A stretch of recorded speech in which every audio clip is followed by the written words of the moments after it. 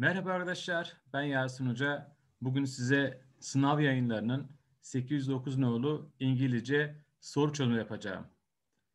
İlk sorudan başlayalım isterseniz arkadaşlar. İlk sorumuz, according to dialog, which one is true? Hangisi doğrudur? Şimdi, diyalog sorulardan genellikle doğru ya da yanlış olan ifadeleri bize soruyor arkadaşlar. Önce ne yapacağız? Soru kalı benden neyse ona bakacağım ne diyor? Which one is true? Hangisi doğrudur? O zaman bunların üç tanesi kesin yanlış, bir tanesi kesin doğrudur. Yani şıkların üç tanesi kesin yanlıştır. Peki diyalog bakalım. Diyalog neden bahsediyor? Martin ve Elvin diye iki arkadaş var konuşuyorlar. Martin diyor ki you sound a bit down, what's happened? Ya da what's up? Solun görünüyorsun ne oldu diyor. Cevap veriyor nothing bir şey olmadı. I am just a bit tired. Az bir şey yorgunum diyor. Martin soruyor tekrar. Do you have any plan for this weekend? Bu hafta sonu bir planın var mı? No, not really. Hayır aslında bir planım yok. Bir işim yok. Bu tarz sorular aslında arkadaşlar eğer bir planın var mı yok mu diye sorarsa, müsait bir değilse sorarsa bilin ki teklif edilecektir. Well, I have an, an idea. O zaman benim bir fikrim var diyor. Do you fancy going for shopping? Alışveriş yapmaya ne dersin? Hemen cevap veriyor Elvin. Yes ya da yeah, that sounds good. When? Kulağa hoş geliyor. Ne zaman yapacağız? Bakın teklif etti. Do you fancy going for shopping? Alışveriş yapmaya ne dersin? Teklif sundu bize. Kabul etti teklife. Artık koyalım buraya isterseniz. Peki tekrar soru diyor ki How about a Saturday afternoon? Ne zaman diye sordu ya bize. Peki cumartesi öğleden sonra ne dersin buna? Good idea, iyi fikir diyor. Shall we meet at 3 p.m.? Öğleden sonra saat 3'te görüşelim mi? That's fine for me. Benim için iyidir diyor. O zaman let's meet at Maiden.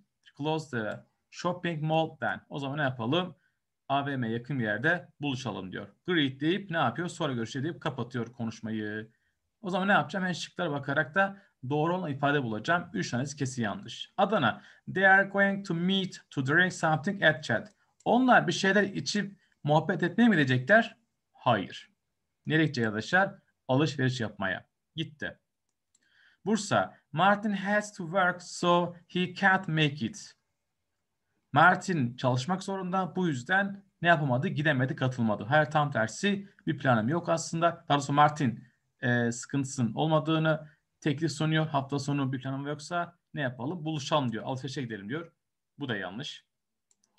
Ceyhan, they agree to see each other to see each other at weekend. Hafta sonu buluşmaya karar verdiler. Evet hafta sonu cumartesi günü saat öğleden sonra 3 gibi buluşacakları doğru. Buna bir artı koyalım. Denizli Elvin refuses Martin's offer because she feels a bit tired. Elvin Martin teklifini reddeder çünkü kendisi kötü hissediyor. Hayır tam tersi. Ne diyor arkadaşlar? Aslında bir işim yok, bir planım yok diyor. Evet az bir şey yorgunum ama ben yine ne yapacağım? Senin planına katılıyorum. Hatta kulağa hoş geliyor. Saat kaçta buluşacağız sorduğu için demek teklifi kabul etmiş. Burada ise reddedi dediği için yanlış. O zaman ne istiyordu? Doğru olan ifadeyi bul dediği için tek doğru arkadaşlar Ceyhan çıkıyor. Onlar hafta sonu ne yapacaklar? Buluşacaklar. İkinci soruya gelelim arkadaşlar. Soruyu arkadaşlar durdurup kendi çözün. Ondan sonra benim çözüme bakabilirsiniz. Bu şekilde daha verimli olur. Eğer bu soruları ilk defa çözen varsa, ilk defa karşılaşan varsa videoyu durdurabilirsiniz. Siz şıkkı bulup ondan sonra arkadaşlar cevap da verebilirsiniz. Yine her zamanki soru kalıbı okumam lazım. Ne istiyor benden? According to dialog above, yukarıdaki diyaloğa göre which tool does Tom need? Tom hangi cihaz alete ihtiyaç vardı? Yani mutfakla ilgili bir alete ihtiyacı varmış. Tool alet cihaz demek arkadaşlar. Peki Diana diyor ki I am very hungry. Çok açım diyor. I will make an omelet. Bir omlet yapacağım diyor. Can you help me please? Bana yardım edebilir misin? Tom da diyor ki elbette yardım ederim diyor. What do you want me to do? Benim ne yapmamı istiyorsun? Cevap veriyor hemen. Can you put some oil into? Yağ koyabilir misin? Niye koyabilirsin arkadaşlar? Ve sonra heat it, ısıt diyor. Şimdi sen ne, yağı nereye koyarsın? Pan, tava. Cevap anlatımız Türk Adana olacak. Tava. Saucepan, tencere. Strainer, süzgeç. Grater, rende. E, yağı sen nereye koyuyorsun arkadaşlar? Direkt tavaya koymak zorundasın arkadaşlar. Yemek ünitesi, in the kitchen ünitesiyle ilgili kelime biliyorsan soru hiçbir zaman kaçmaz. Çünkü ne yapacaksın? Yağı nereye koyabilirsin ki? Tencerede omlet yapılmayacak. O zaman ne olacak? Tava olmak zorunda. Cevap da Adana. Strainer süzgeç, grater rende ilgisi bile yok. Bir tek Adana kaldı. Üçüncü soru arkadaşlar genellikle bizim dördüncü ünite ve beşinci ünitenin e, gelme ihtimali ve genellikle denemelerde tercih edilen soru tarzı arkadaşlar. Yani bu tarz anket ya da işte tablo şeklinde verilen sorular arkadaşlar. Şimdi soru kalıbı önce bir okuyacağım size. Sonra da ne olduğunu tek tek size göstereceğim. According to P chart above yukarıdaki bu şekle göre which one is correct? Hangisi doğrudur? Ne yapacağım yine arkadaşlar? Üç tanesi kesin yanlışmış. Bir tanesi kesin doğru. Ben ne yapacağım? Doğru olan bir ifade bulacağım. Ne? Bu yukarıdaki verilen bilgilere göre. Peki ne ile ilgili bu bilgi arkadaşlar? The pie chart below shows the result of a study on favorite communication types of teen. Ne ilgili? 100 teens. 100 öğrenci üzerinde arkadaşlar bir anket yapılmış. Ne ilgili? Communication types yani iletişim çeşitleri ile ilgili bir anket yapılmış. Ve sonuçlar burada arkadaşlar. Gençlerin favori olarak gördüğü iletişim yolları tek tek sıralanmış. Senden e-mail, e-mail göndermek arkadaşlar turuncu %10. Speak face to face, yüzde konuşmak yeşil %12. Mesajlaşma arkadaşlar kısa mesaj atma daha doğrusu %18. Make, make a phone call telefonla aramak %15 ve use social network I'm sorry use social media sosyal medya arkadaşlar %45 yüksek oranda.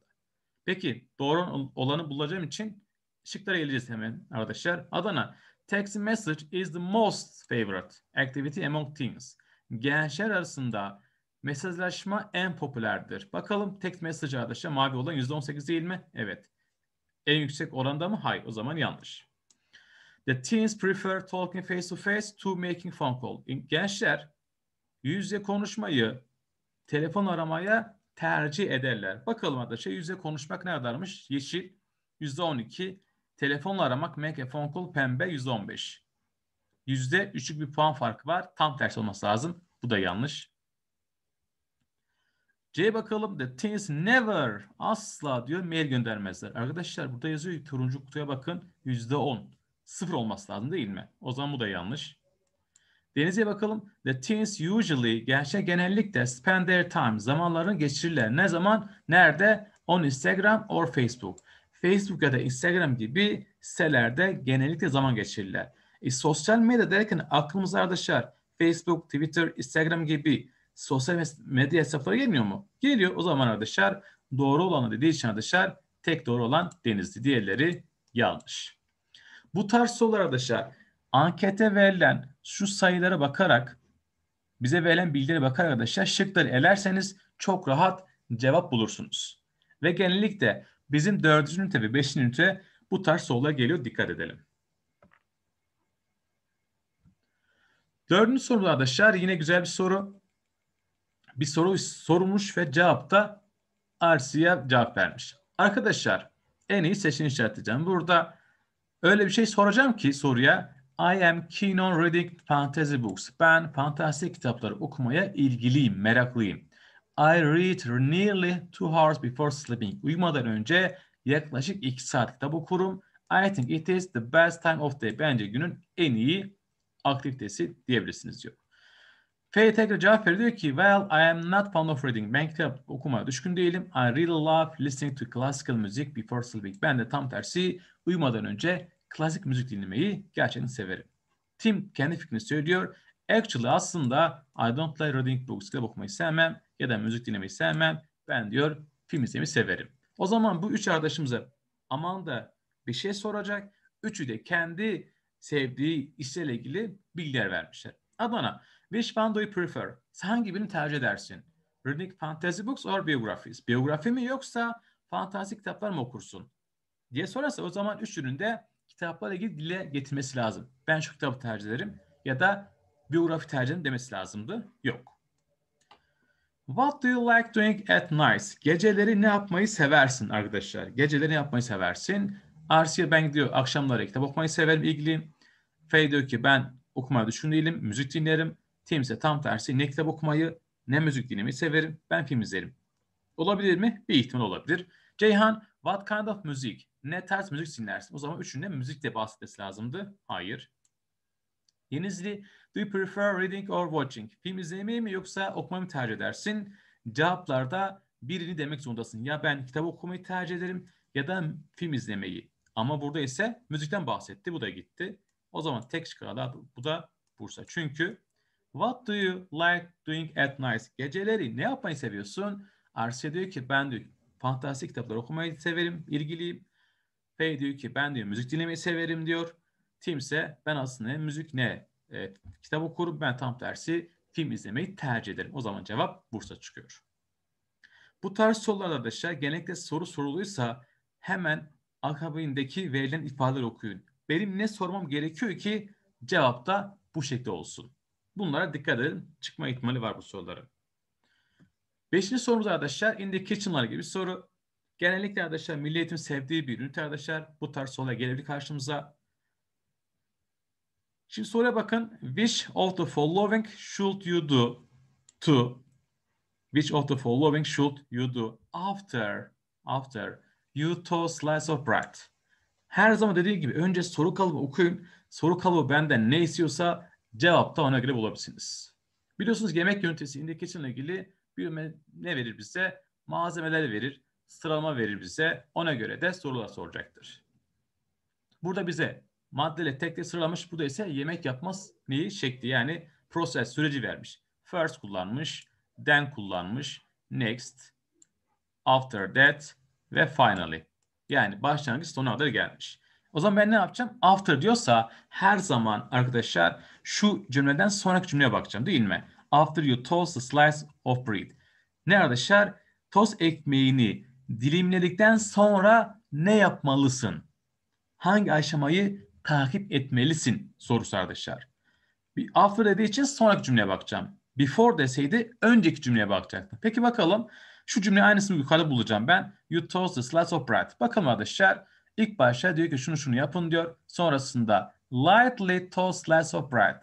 Hafifçe tost ekmeğini dilimleyin. Buldum buldum. Sonraki cümle dediği için arkadaşlar. Sonraki cümle dediği için hemen arkasındaki cümleye bakacağım ben. Next diyor. Bak hemen next diyor. Spread peanut butter and banana mixture on the toast. E, ne yapacağım arkadaşlar?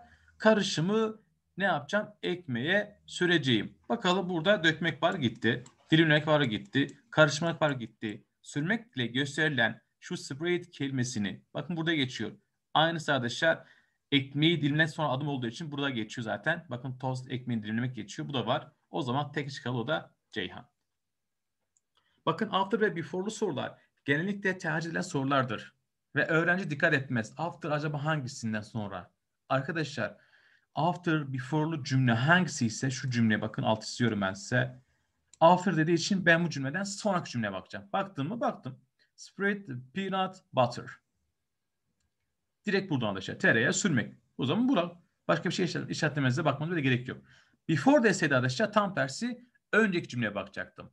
Mash bananas together diyecektim. Değil mi? Bunu gibi sorular gelebilir. Dikkat edelim. Altıncı soru arkadaşlar. Yine bir anket arkadaşlar. Survey about inviting students to the do online activities. Gençlerin arkadaşlar, çocukları, gençlerin, öğrencilerin online aktivitelere teklifleri var arkadaşlar. Nedir bu aktiviteler arkadaşlar? Watching video, video izlemek, read online games, online gazete okumak, haber okumak, upload foto, fotoğraf yüklemek, do research, araştırma yapmak, practice foreign language, yabancı dil pratiği yapmak. Yine ne istiyor benden? Yukarıdaki survey'e göre which one is correct? Hangisi doğrudur? O zaman mutlaka bunların üç tanesi kesin yanlış, bir tanesi kesin doğrudur. Neye bakarak yapacağım? Accept dedi. Bakın gülücük var gördüğünüz gibi. Artı yani kabul edenler tam tersi refuse edilen özgün suratımız var. Sayılara iyi bakın arkadaşlar. Sayılara göre ben çünkü karar vereceğim. Kabul edilen sayısı edilmeyen sayılar belli burada arkadaşlar. Adana. The students accepting doing research is more than those uploading photos. Arkadaşlar çok basit. Students accepting doing research. Araştırma yapma, yapmayı tercih eden, tercih eden öğrenciler sayısı fotoğraf yükleyenlerden daha fazla. Bakalım arkadaşlar. Araştırma burası değil mi? Neredeydi? Do research %18 değil mi? Is more than those uploading. Uploading arkadaşlar fotoğraf yüklemek değil mi? Bakalım burada %20. Tam tersi değil mi? Yani fotoğraf yükleyenlerin sayısı kaderseniz %20, araştırma yapma %18. Tam tersi yanlış. O zaman buraya bir eksi koyalım. Bursa'ya bakalım arkadaşlar. Diyor ki nearly, nearly yaklaşık olarak yaklaşık yarısı, gençlerin yarısı reddetmiş. Neyi? Practicing foreign language. Yabancı e, pratiği yapmayı reddetmiş. Bakalım %19. Hayır. %50'si yani yüzde kaç kişi oldu belli zaten. Ha, toplarsa arkadaşlar 18 12 daha 30 yaptı. Burada toplam yap, iş yapan 30 kişi var. Burada 20, burada 30, burada 30, burada yine 30 var arkadaşlar. Yani net sayı bilmediği için ben böyle şey ya yüzde yarısı diye diyemem. Çünkü belli değil. Bakıyorum arkadaşlar yüzde 19 tam tersi yüzde 11'de reddetmiş arkadaşlar. Yaklaşık yarısı reddetmiş yabancı. Hayır. Tam tersi kabul eden sayısı daha fazla dikkat ederseniz. Bu da yanlış. Eksi koyalım. Ceyhan, all of the students, tüm öğrenciler accept, kabul etmiş neyi? Searching for information onunla internette bilgi araştırmayı kabul etmiş arkadaşlar. Hepsi? Yüzde yüz mü arkadaşlar? 30 ise 30'un hepsi mi arkadaşlar? Bakalım. Search information arkadaşlar nerede geçiyor? The online news search var burada bir tane. Öyle bir şey zaten geçmiyor. Direkt yanlış. Denizli just seven students. Sadece 7 öğrenci kabul etmiş. Neyi? Reading the news online. Online gazete haber okumayı kabul etmiş. Bakalım gazete haber okumak arkadaşlar kabul eden sayısı sadece 7 kişi mi? Evet. Bakıyorum. Read online news or read online news 7. Evet. Sadece 7 kişi kabul etmiş. Doğru. O zaman tek çıkalı o da Denizli. Artı olan bu şık çıktı. Bu tarzlarda survey ile gelebilir. Özellikle internet ve telefon ötesi dikkat edelim. Öğrencinin en çok zorlandığı soru tarzıdır ama genellikle basit sorulardır. Yapabilirsin çok rahatlıkla. Yedinci soru arkadaşlar. Yedinci soru genellikle milli eğitim tercih ettiği soru tarzı değil ama denemelerde sizin çözdüğünüz soru kalıplarına gelebilir. Ne istiyor benden? What is the best title of the text? Text'in en iyi başlığı hangisi olabilir? Title dediği şey başlık. O zaman bir konudan bahsetmiş. Ben genelini kapsayacak. O başlık öyle bir şey olacak ki tüm metinle ilgisi, ol, ilgisi olacak. Peki metinle ilgili arkadaşlar can you live without your smartphone or internet connection? İnternet bağlantısı ya da telefonsuz, sen telefonsuz yaşayabilir misin? I think your answer will probably be no. Büyük ihtimalle senin cevabında hayır olacak. We use internet for many things in our daily lives. Günlük hayatımızda interneti ne farklı şekillerde kullanabiliriz. We keep in touch, ilet, e, iletişime geçeriz. Kimle? Our friends, arkadaşlarımızla. Use social media, sosyal medya kullanırız. Share picture, resim paylaşırız. Do shopping, alışveriş yaparız. Even pay bill, hatta fatura bile öderiz. Millions of people use internet and visit lots of different websites. İnsan, milyonlar insan interneti kullanır ve farklı web siteleri ziyaret ederler. However, buradaki arkadaşlar her zaman but anlamındadır. Dikkat edelim. Ama fakat Saved is a big problem nowadays. Günümüzde ise bugünlerde ise güvenlik problem, büyük problem. If you don't have a web, uh, have a safe connection, güvenli bir bağlantı, güvenli bir e, bağlantı sahip değilsen, you can get your personal information. Sen ne yapabilirsin? Personal, şahsi bilgilerini kaybedebilirsin. Use your credit card, kredi kart şifrelerini ya da Bununla beraber ne yaparlar? Alışveriş yaparlar. Bunları hepsini kaybedebilirsin. So bu yüzden bundan dolayı what should you do? Ne yapmalısınız? You need to be very careful. Dikkatli olmalısınız. Dikkatli olmaya ihtiyacınız var. You must save, save website. Bir de ne yapmalısınız arkadaşlar? Güvenli web sitelerini kullanman lazım. O zaman arkadaşlar konuya baktığınız zaman neyle ilgili? Genellikle internetle ilgili. İnternette yapılanlardan bahsetmiş tek tek. Adana Good things about net. İnternet hakkında güzel şeyler bahsediyor. Hayır. Tam tersi her şey yapıyoruz ama güvenli bir siteye girmediğiniz zaman problem yaşayabilirsiniz. Yanlış. İnternet addiction, internet bağımlılığından bahsettim bize? Hayır. Hiç alakası bile yok. Online shopping, online alışverişten bahsetti mi? Sadece ondan bahsetmedik ederseniz hayır. Ama neyden bahsetti? Online safety yani internetteyken güvenlikten bahsetti. Eğer siz güvenli site kullanmazsanız şahsi bilgileriniz, kredi kartınız, şifreleriniz bunlar adına ne yaparlar? Alışveriş yaparlar. Tüm bilgileriniz ele geçtikten sonra adınıza her şey yapabilirler. Genellikle size söyledim internetle ilgili biz şahsi bilgilerimizi ne yapmıyoruz? Üçüncü bir kişiye asla paylaşmıyoruz demiştim her derste. O zaman cevap Ceyhan olmak zorunda. Gelelim 8. sorumuza arkadaşlar. Yine in the kitchen ile ilgili bir sorumuz. Soru benden ne istiyor? According to passage, Altı verilen bir pasaja göre which one is true hangisi doğrudur. O zaman ne yapacağım? Yine üç tanesi kesin yanlıştır. Bir tanesi kesin doğrudur. Sonra bakın arkadaşlar siz de durdurup videoyu çözebilirsiniz. Ondan sonra cevap anahtarına bakın lütfen. Delicious Pancake Place arkadaşlar. Lezzetli pankek yeri. Öyle bir mekandan bahsetmiş. Ona göre cevaplar verilmiş ya da şıklar verilmiş. Ben ne yapacağım? Doğru olan bir ifade bulacağım. I love original pancakes place on Main Street. Ana sokakta ben arkadaşlar orijinal pankek yerini severim diyor. Their famous apple pancake. Onların elma pankekleri very e, are my favorite en favorimdir diyor. They are delicious, lezzetliler ama diyor biraz tatlı biraz da yağlılar diyor. The restaurant has got other dishes on their menu. Menülerinde farklı yiyecekler de var diyor ama onlar o kadar da lezzetli değilmiş.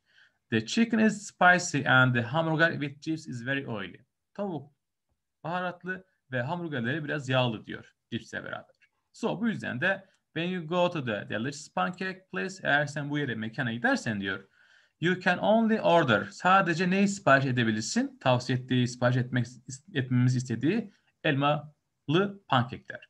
The restaurant open saat 7'de açılıyormuş and closed at 10 p.m. every day. Her gün sabah 7'de açılır, akşam 10'da kapanır diye bize söylüyor arkadaşlar. Ne yapacağım? Doğru olan bir ifadeyi bulacağım arkadaşlar. Şimdi Adana the writer prefers yazar tercih eder. Neyi tercih eder? Apple pancakes to the other dishes on the menu. Menüdeki diğer yiyeceklere tercih ederim. Evet eder. Çünkü zaten bunu bize tavsiye etmesi nedeni bu elmalı pankekin lezzeti olması. Doğru. Artı koyalım buraya. Bursa you can go to restaurant on weekday. Hafta içi oraya gidebilirsin. Yukarıda bakıyorum arkadaşlar. Bana hafta içi gelebilirsin, hafta sonu gidebilirsin bir şey yazıyor mu? Hayır sanki hafta sonu kapalı hafta içi gidebilirsin diye bir şey yazmıyor arkadaşlar. Yanlış. Ceyhan, the restaurant is famous for the, its hamburger. Hamburgerine dolayı mı lezzetli ünlü bir yer? Hayır. Tam tersi. Kişi bahsettiği adı şey, şey pancake. The restaurant has a delicious menu. Lezzet menüsü var? Hayır. Diyor ki the restaurant has got other dishes. Başka yemekleri de var. Ama onlar lezzetli değil. Sadece lezzetli şey apple pancakes arkadaşlar. O zaman cevap Adana olmak zorunda. 9 ve 10. soru arkadaşlar. Telefon testine gelemesi arkadaşlar ikisini arkadaşlar ne yapıyoruz? Metne bağlı kalarak yani sekreter ve Selma Hanım konuşmasına göre cevap vereceğim. Önce arkadaşlar ne yapacağız? Tabii ki karşılıklı olan diyaloğu okuyacağız. Bana hangisinden bahsettiyse ona göre ne yapacağım? İşaretleyeceğim. Dokuz soru benden ne istiyor? Choose the best option to the complete blank. Boşluğa hangisi gelecek ki doğru olan ifadeyi işaretleyeceğim arkadaşlar. Yani şu 9 soruda boş bırakılmış. Ne yapacağım? Bunu bir tane seçeceğim. Onda ise according to dialog which one is correct? Diyaloga hangisi doğrudur? Peki bakalım diyorlar arkadaşlar neler gelecekmiş. Sekreter ve Selma konuşuyor. Sekreter diyor ki thank you for phoning a Maple Dental Clinic. Maple Dental Clinic'i aradığınız için teşekkürler diyor. How may I help you? Sen nasıl yardımcı olabilirim? Silvia cevap veriyor. He, pardon Selma cevap veriyor. Hi Sylvia, it is Selma Çelik. Merhaba ben Selma Çelik. How are you today? Bugün nasılsın? Arayan Selma Çelik'miş. Sekreter de ismi Silvia'ymış. Sekreter soruyor. I am fine Mrs. Çelik. How are you? Ben iyiyim. Hanımefendi siz nasılsınız? Cevap veriyor tekrar Selma diyor ki Well actually I have a terrible toothache. Çok kötü bir diş ağrım var diyor. I hope Dr. Morris has some time to see me this week. Umarım e, Doktor Morris bu, bu hafta müsaittir dişime bakması çünkü çok kötü ağrım var diyor. Sekreter cevap veriyor. I am afraid he is not office at this week. Bu hafta korkarım ki o ofiste yok. Yani doktor yok. I can put you in for 2 p.m. next Tuesday. Önümüzdeki salı günü seni randevu alabilirim diyor. How about, I am sorry, how does that sound? Nasıl? Sizce uygun mu? Salı günü saat 2'de. Evet, that will be great. Güzel olabilir, sıkıntı yok. Kulağa hoş geliyor. Yani kabul ediyor teklifi. Sekreter bir şey söylüyor ki I will give you the address of new office. Yeni ofisin adresini size vereceğim diyor. Sema cevap veriyor. That's right, tamam. You move, taşındınız mı? Move ifadesi taşınmak arkadaşlar. Taşındınız mı? Yes, we moved downtown. Şehir merkezine taşındık diyor. Do you have a pen? Kaleminiz var mı? Ne için? Adres vermesi için sekreter. Selma Cafer, could you blah blah please? Okay, go ahead. Tamam, sonra devam edin diyor. O zaman benim ne söylemem lazım? Kişi eğer adres yazacaksa kalem ya da kağıt bir şey olacak not alacak. Adana, say who is sender. Şimdi Selma not alacak ya. Diyecek mi sana kim gönderdi? Gönderen kim? Neyi gönderip? Bir şey yok değil mi? Gönderen bir şey yok. Gitti. Meet up later. O zaman sonra görüşürüz. Sonra görüşecekse niye adres versin tekrardan? Gitti. Repeat it. Tekrar edin diyor. Neyi tekrar edin? Sanki adres verdi de tekrardan anlamamış, duyamamış tekrar adres diyor. Hayır.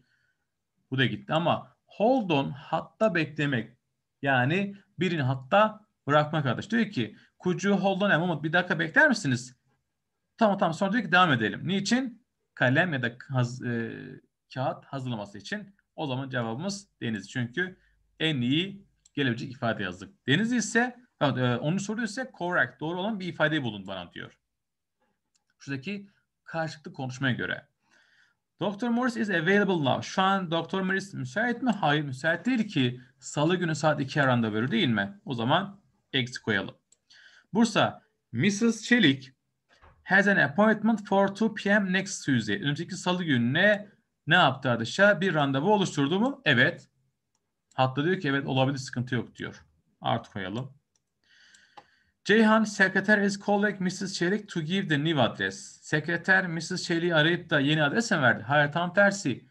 Mrs. Çelik aradı ki diş ağrısı var mı? Randevu olmak istiyor. Yanlış. Denizli Mrs. Çelik can't hear the address for the first time. Mrs. Çelik ne arkadaşlar?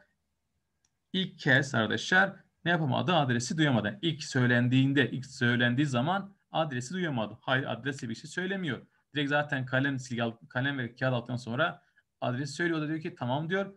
Biz salı günü görüşelim diyor. Tamam görüşüp ne yapıyor? Telefonu kapatıyor. Bu da yanlış. O zaman cevap arkadaşlar tabii ki Bursa çıktı. Evet arkadaşlar. Sınav yanlarının 8 ne oldu denemesi arkadaşlar. Bu şekilde girenler arkadaşlar umarım güzel yapmıştır. Güzel netler gelmiştir. Yanlış yapan arkadaşlarımız da özellikle yanlışlarına iyi baksınlar. Çünkü buna benzer sorular tekrardan karşımıza mutlaka çıkacaktır. Ve dikkat ederseniz genellikle telefon ünitesi, e, internet ünitesi ve in the kitchen ünitesi gelen soruların bir tane e, kalıplardan. Yani özellikle tercih edilen sorulardır. Bunlara dikkat edelim. Benim tercihim bir tanesi arkadaşlar LGS'de arkadaşlar telefonla ilgili, internetle ilgili ve in the kitchen ile ilgili soru gelme ihtimali yüksek olan 3 ünitelerin bir tanesi arkadaşlar. Dikkat edelim.